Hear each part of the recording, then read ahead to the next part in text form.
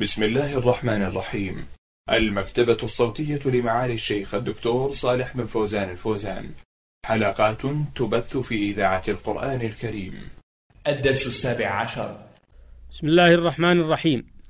الحمد لله رب العالمين والصلاة والسلام على نبينا محمد وآله وصحابته أجمعين. وبعد أيها المستمع الكريم إنك تقرأ وتسمع قوله تعالى يا أيها الذين آمنوا قوا أنفسكم وأهليكم نارا وقودها الناس والحجارة.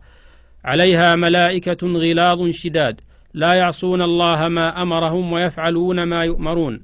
وتفهم منها أن الله سبحانه يأمرك أن تقي نفسك وتقي وتقي أهلك من نار عظيمة هائلة. بأن تتخذ لنفسك ولأهلك ما يقيك من الوقوع فيها. وذلك بأن تفعل ما أمرك الله به وتلزم أهلك بفعله وتجتنب ما نهاك الله عنه وتجنب أهلك منه.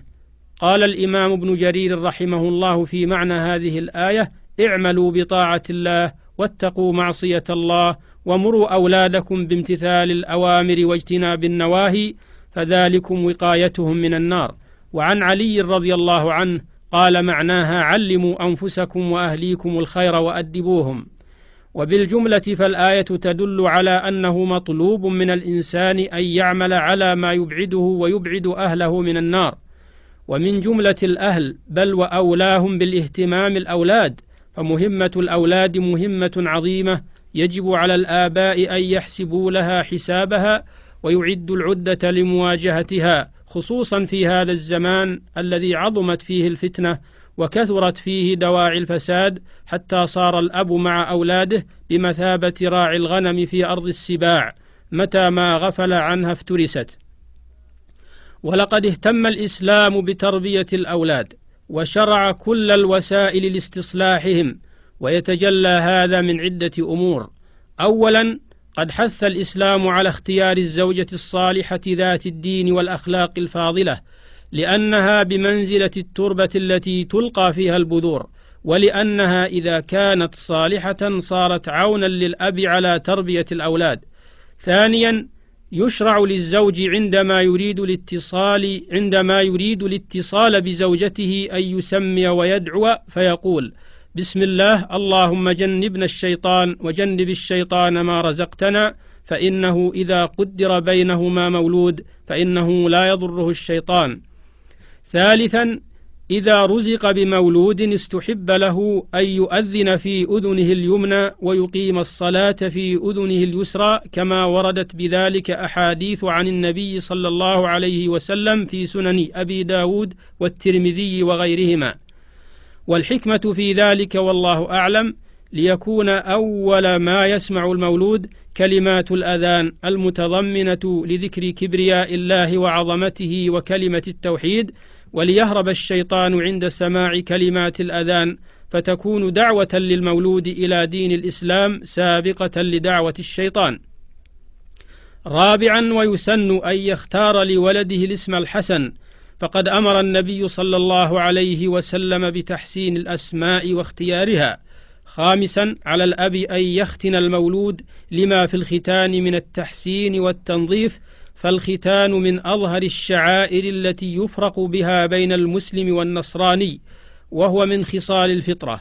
سادسا يستحب للوالد أن يعق عن ولده بأن يذبح عن الذكر شاتين وعن الأنثى شاة واحدة والحكمة في ذبح هذه العقيقة عن المولود أنها قربان يتقرب بها إلى الله عن المولود في أول خروجه إلى الدنيا وهي أيضا فدية يفدى بها المولود كما فدى الله سبحانه إسماعيل بالكبش. أيها المستمعون الكرام كل هذه الأحكام التي ذكرناها مما يدل على عناية الإسلام بالأولاد حيث جاء بفعل الأسباب التي تكون سببا في صلاحهم ثم لنعلم أنه كما للوالد حق على ولده فكذلك للولد حق على والده. قال بعض العلماء إن الله يسأل الوالد عن ولده يوم القيامة قبل أن يسأل المولود عن والده. وقد قال الله تعالى يوصيكم الله في أولادكم. وقال النبي صلى الله عليه وسلم اتقوا الله واعدلوا بين أولادكم. وقال الله تعالى ولا تقتلوا أولادكم خشية إملاق. فوصية الله للآباء بأولادهم سابقة على وصية الأولاد بآبائهم. فمن أهمل تعليم ولده وتركه سدى فقد أساء إليه غاية الإساءة وأضاع مسؤوليته. وأكثر الأولاد إنما يأتيهم الفساد بسبب إهمال آبائهم.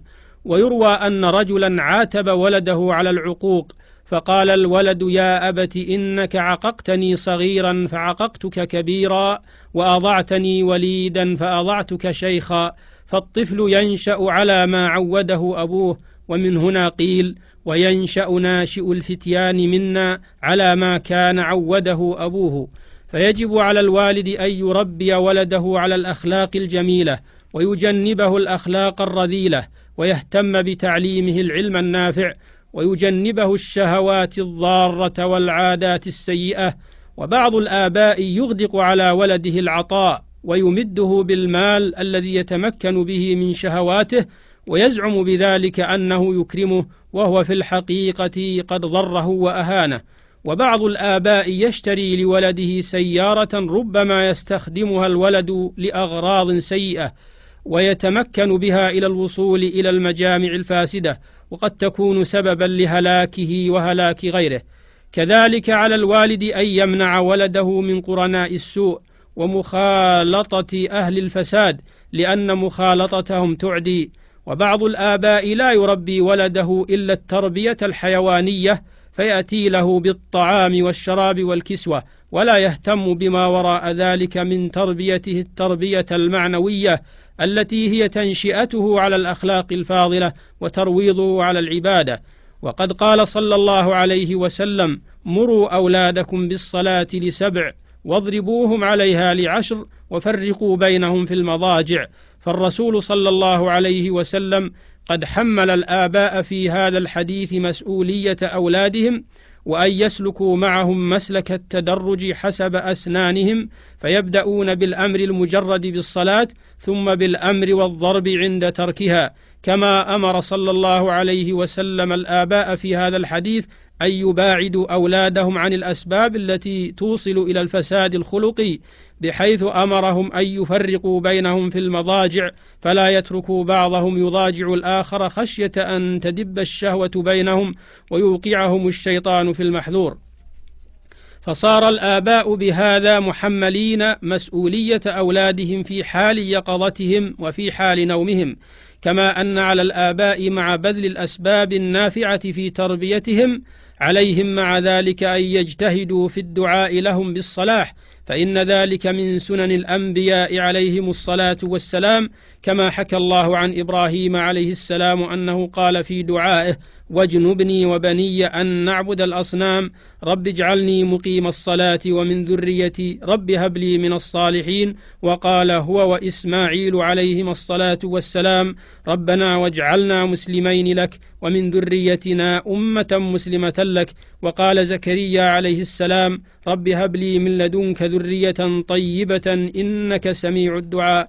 فاتقوا الله يا أيها الآباء. في أولادكم واحفظوا فيهم وصية ربكم ووصية نبيكم لعلهم يكونون لكم قرة أعين في حياتكم وخلفا صالحا لكم بعد مماتكم.